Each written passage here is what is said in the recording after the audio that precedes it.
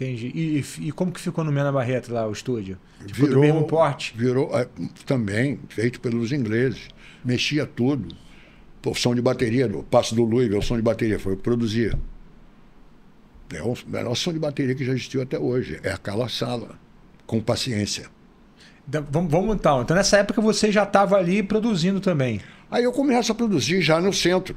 No centro. Alguma tá. coisa. Antes, antes do erva doce, isso? Sim, bem antes. Não existia erva doce. Teve bolha em intervalo. Eu sempre tive uma, uma conexão com o Renato, né? Porque a gente tocou junto na bolha. Essa época antiga, mesmo que eu tinha essa banda o Divers, o empresário era comum. Era o mesmo empresário para várias bandas no Rio de Janeiro. Então não era aquele negócio de banda de colégio que vai. Teve também, mas pouquinho. Mas então vocês. Porque eu já estava por fora. Já então quando vocês vieram com ideia de banda, já era uma ideia profissional de banda?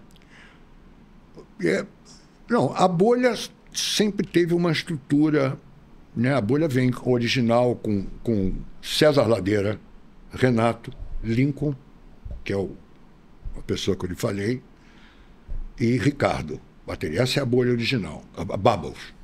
Isso eu vi, moleque, com uns 14 anos, 15 talvez, tocando na escola americana em Botafogo, e aí meu cérebro deu um nó. Então resistia a bolha, então? Ali foi um choque. Eu falo pro César, a culpa é dele. Pro César, irmão do Renato, que está vivo até hoje. Eu falo, a culpa é tua. Porque foi ali que o cara tocava guitarra pra caralho, som de guitarra. Ele continua na música? Não, ele trabalha com, com publicidade, imagem e tal. Hum. Na área artística, em São Paulo. É, ah. em São Paulo. Mora em São Paulo. Mas então, já tinha esse, já tinha tocado ali, já tinha parado, já tinha voltado. A bolha tinha um vai e volta, né?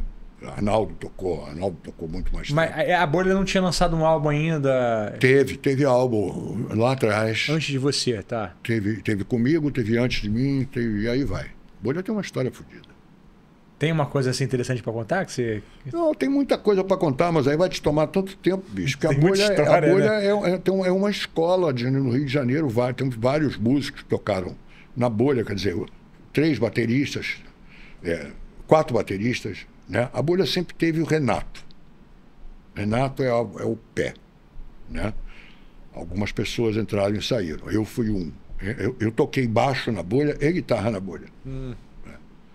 Teve uma época que eu estava tocando baixo, o Lincoln voltou, eu fui para guitarra, depois o Lincoln saiu de novo, porque o Lincoln tinha a veia da medicina, que puxava ele para o lado de lá e levou ele para o ponto mais alto. Entendi. Né? Mas essa época da gravadora estava paralelo com as bandinhas ali e tal. Na realidade, o Erva Doce surge, surge de uma pressão da EMAI. Fala aí essa história, então. Sim, sim. Eu, eu, eu, já, já, já na Mena Barreto, eu produzia, gravava tudo como músico. Você né? já tinha uns 24, 25 anos aí? Lá, cara, negócio de idade é complicado, bicho. Puta que pariu. Eu esqueço da idade Não, que eu porque eu vi hoje. os vídeos do, é, do Erva deve Doce. ser isso, tem que fazer conta. E eu vi um vídeo, nem sei se você vai lembrar. Erva Doce grava no, no, no no carnaval, no início de 81. Eles gravam. 81. Um. 81. O, o, o demo que a gente faz, que eu vou contar para você aqui, é no início de 81. Mas eu já estava produzindo na gravadora e tanto que chegou uma hora que os diretores... A EMAI tinha aqui, três diretores artísticos. Miguel Próprio, Mariozinho Rocha e Renato Correia. Três gênios da música. E aí o nego me cobrou, falou, porra, tu não vai fazer uma banda, cheio de banda aí. Não vai fazer uma banda? Não vai fazer uma banda? Não vai fazer uma banda. Aí eu reencontro o Renato. Depois de algum tempo. O Renato estava. Era diretor de TV da Bandeirantes, que mexe com imagem também. Renato uhum. mexia com imagem também. Aí eu reencontro falei, caralho, Renato, tô com estudo na mão. Ele falou, tô cheio de música. falei, vamos, vamos gravar. Qual é a música que tinha ali? Já tinha. Assim mesmo, foi exatamente ah. assim. Aí eu, eu Falei, vamos gravar, vamos pro carnaval, vamos para dentro do estúdio. Carnaval, não vai ter ninguém. Entramos no estúdio, eu, Renato, uma bateria eletrônica. Aí começamos a montar algumas músicas. No meio do primeiro dia, eu liguei pro Serginho Della Mônica. Falei, vem cá, vem para cá. E aí saímos gravando em trio. Com bateria eletrônica? Não, aí, aí já com Serginho. Serginho, eu e Renato. Tá. Só. Aí fizemos quatro músicas. No terceiro dia, a gente sai a parada para um cafezinho no boteco. Estava o Mansur, Fernando Mansur. Fernando Mansur era programador da Rádio Cidade e tinha o programa dele também. Pô, o que vocês estão fazendo aqui? Estamos gravando.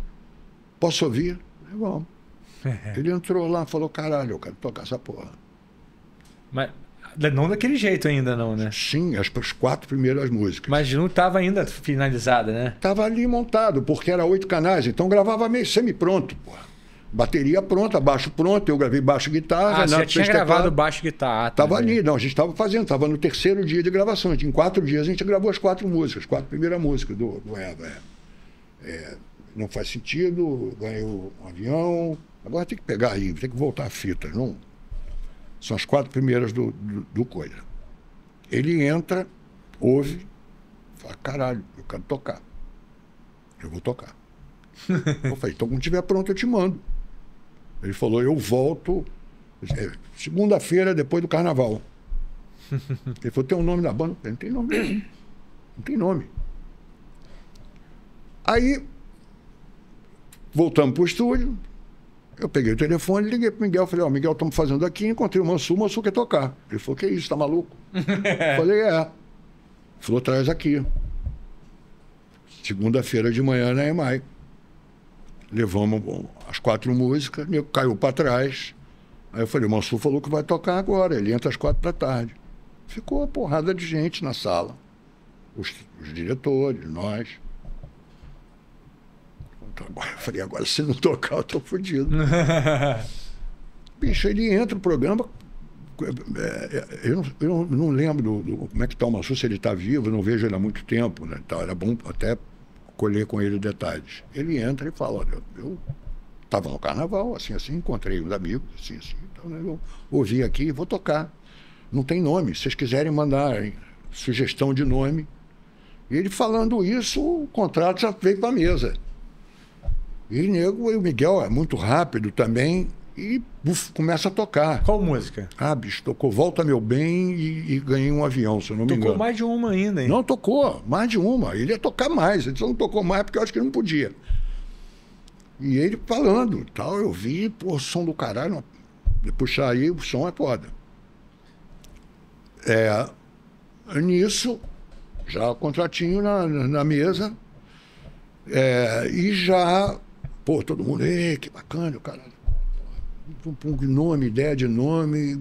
Aí o Miguel falou: vocês vão gravar erva venenosa. Falei, vamos. Aí já, o Renato já. Erva venenosa, erva doce. Já, aí surgiu ali a ideia, acho que foi dali. Obrigado por ter assistido a esse corte do Starlink Cast. Você pode assistir o episódio completo aqui na descrição do vídeo. E aproveita se você é guitarrista para fazer parte da maior escola virtual do Brasil, exclusiva para guitarristas, tocando ali no QR Code ou então na descrição do vídeo. Te aguardo lá.